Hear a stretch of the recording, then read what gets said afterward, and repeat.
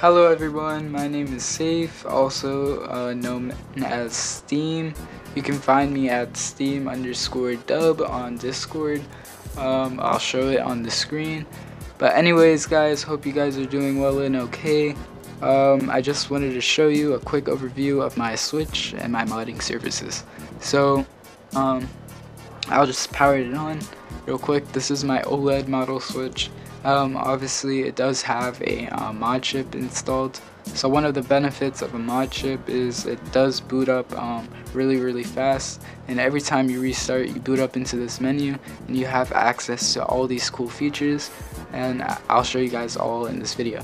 So um, this is my um, Hekate menu. You guys can customize your theme. I um, customize it in my services for you guys um, but I'll show you in um, the launch menu everything I have going on. So as you can see there is a lot going on and um, I'll show you guys everything one by one. Well all the important stuff um, for the sake of this video. Um, as you guys can see I have EMU MMC um, this is sysNAND stock official firmware lineage OS Ubuntu and Lakka. So essentially I'll just do a quick overview atmosphere or the EMU MMC that you see here basically is some modded Switch OS. So in this OS you can get all your um, basically free Nintendo Switch games, themes, all that fun stuff, cheats, it's all in here. I'll just load into um, some of the systems here and show you guys and stop talking about it and get to showing. um, I hope my mic isn't too loud by the way. Um, so as you guys can see, that, that was the atmosphere symbol. So you are booting into custom firmwares now. Alright, so some stuff that you will notice straight away is you do have access to themes. And this um, does um, let you customize your Switch a whole lot more and make it a lot more unique to you. As you can see, I do have this nice space theme going on um, so I'll just show you guys some stuff that you can do in the modded um, firmware. So as you guys can see a lot of fun stuff. I have um, a lot of games.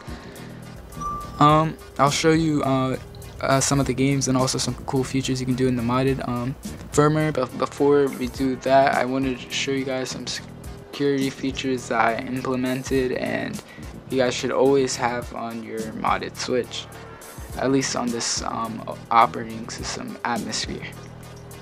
So if I go down to settings, system settings, you can see it is 18.0 atmosphere and it is the emulate, emulated NAND, sorry. and if you go down here, also something really important that I do for you guys is I block out the system um, serial number completely while you're on your modded OS. What basically what this does is um, it makes you undetectable to Nintendo so they can't find your um, system at all. Um, something else that I do for my security feature if you guys go into this DNS um, testing utility pretty much straightforward all Nintendo Switch servers are blocked so just something important obviously um, obviously you can run all of these games um, just some cool games on the switch like some Subnautica, Smash Bros, Zelda, Breath of the Wild all of these stuff. Um, also something I wanted to show is the Chiaki so basically what this is is um, uh, it turns your switch into essentially a PlayStation portal so you're able to play all your games remotely so long as they're in your house Wi-Fi. There are some uh, workarounds, I believe, though, so you can play um, outside your home internet. But um, I just want to make something clear, guys. I'm not connected to an Ethernet cable, and usually best performance comes when your um, console is connected to an Ethernet cable. More specifically, your PS5. And also something really cool that um, works is any modded PS4 or PS5 you can also get running. As you guys can see, this is my um, modded, um, oh shoot, sorry, my modded PS4. and I believe there's a setting right somewhere here. Oh yeah, so this is my modded PS4 as you guys can see. You can play these games just like running remotely on your Switch. So pretty cool. I'll just show you guys some gameplay. This is Street Fighter 6.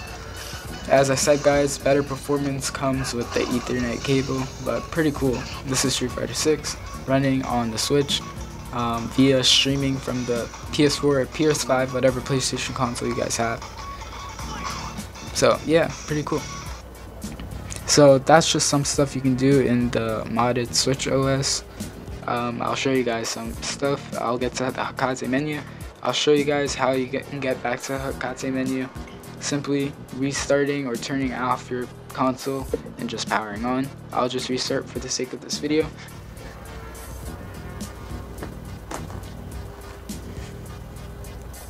and boom you're in the Hekate menu again you have access to all this stuff um, I can show you guys the stock firmware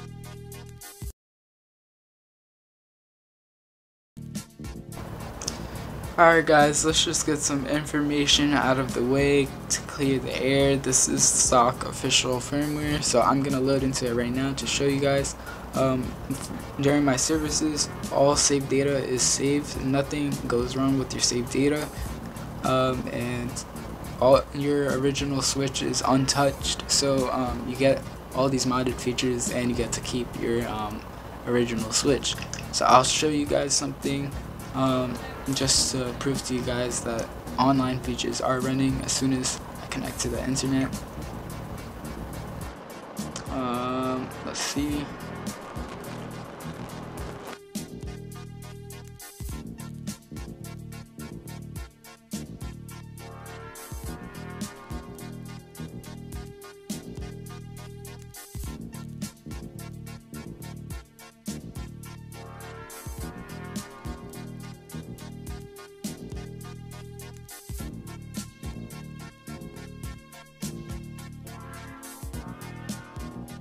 Mm-hmm.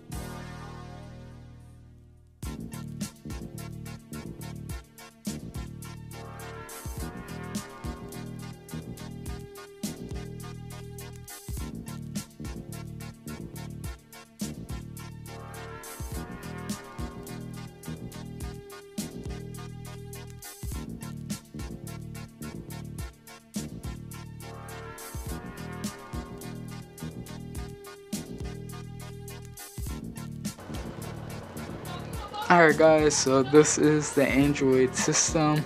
Um, as you guys can see, you can get any wallpaper on an Android system, like via the Play Store or however you guys get your um, uh, wallpapers.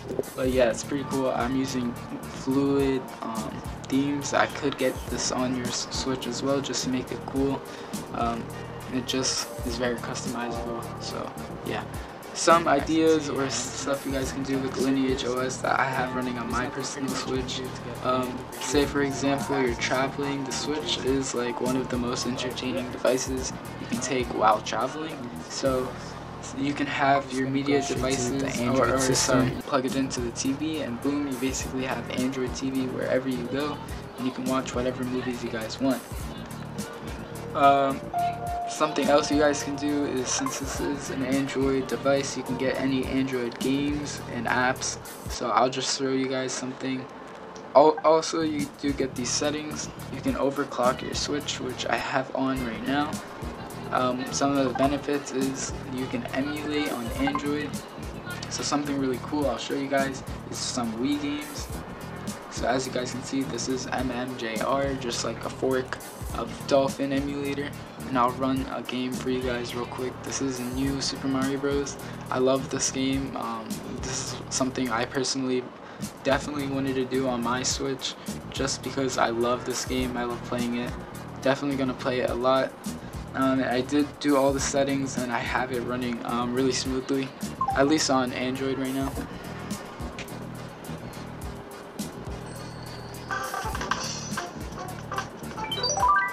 As you guys can see, it is running really smooth.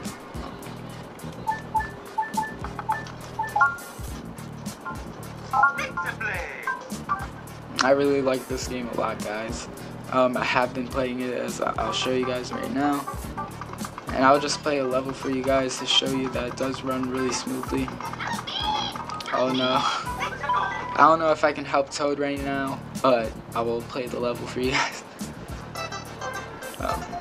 So as you guys can see, it is really smooth and running really well. I am looking through the camera, so forgive me, I'm not that good right now.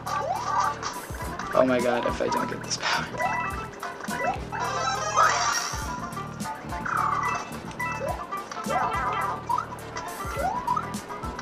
But as you guys can see, I didn't even see that, it is running really smooth and it is really fun. I'm probably going to play this whole game on my Switch. Um, but yeah, something really fun you can do is play Wii games on your Switch. Pretty crazy, guys. Um, but moving on with the tutorial, um, there is a lot more stuff you guys can do. So I'll show you that right now.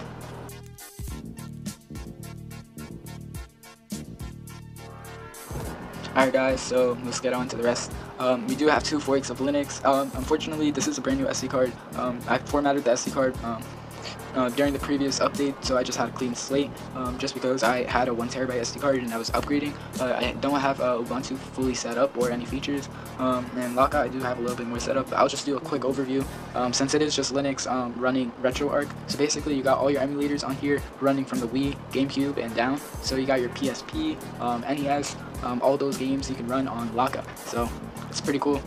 3DS games, all of that. It is basically just RetroArch uh, running on Linux um, instead of Ubuntu, you know. Uh, uh mainly people get RetroArch on their Ubuntu or Dolphin so they can play Wii games anyways, or GameCube games, whatever it is. But Lakka. So as you guys can see, it is just RetroArch. You can get all your cores. Um, there are a lot of cores running, so you can play all these systems basically. It is pretty cool. Um, and I did um, there's also a lot of forks as you guys can see. I did um, only add Wii ROMs because I was playing around, but I didn't um, get around to setting all the Dolphin settings smoothly as well as I did on the Android system. So I won't go as far as to like show it. I mean, I, it is run and stuff, but I don't have any um, like lighter ROMs without where you don't need to set up any settings to run, such as NES, unfortunately. But yeah, that's just uh, a quick overview of the Switch, guys. Once again, my name is Safe, um, also known as Steam. Find me at SteamDub on Discord. And yeah, hope you guys have a great rest of your day.